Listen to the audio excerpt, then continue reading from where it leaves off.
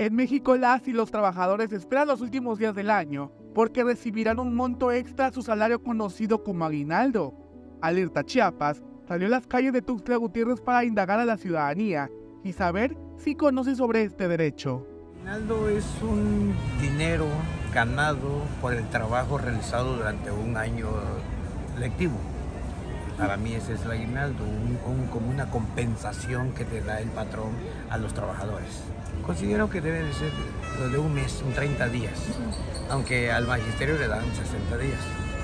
40 días primera, la primera parte y 20 días la segunda parte. El documento publicado en el Diario Oficial de la Federación indica que el aguinaldo será de 40 días de salario y se deberá entregar a partir del 14 de noviembre a los servidores públicos. En el caso del sector privado, este se tiene que pagar antes del 20 de diciembre. Las empresas privadas no, las empresas privadas ahí siempre, nunca pagan aguinaldo como debe de ser.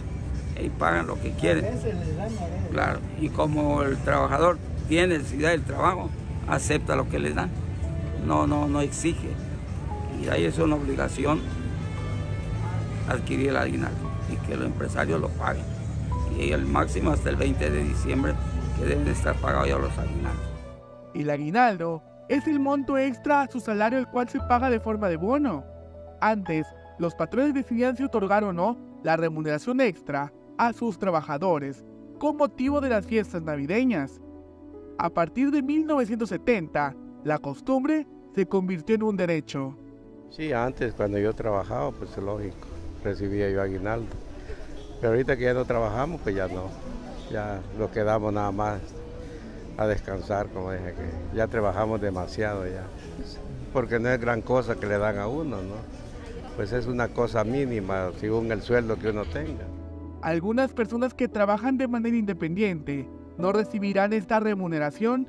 Este diciembre no será de una feliz Navidad para algunos. Se estima que más de 15 millones de trabajadores no tendrán aguinaldo, según la encuesta nacional de ocupación y empleo que elabora el INEGI. las privadas no, porque pues la verdad también ellos a veces andan batallando por conseguir a veces eh, la nómina, o a veces hay ventas muy bajas, dependiendo del ramo en que se dediquen, ¿verdad? A veces se gasta en algo que ni siquiera vale la pena comprar. Entonces yo invito a que, porque también así lo pienso hacer, ¿verdad? E invertirlo donde más lo necesitemos. Para Alerta Chiapas, Eric Chandomí.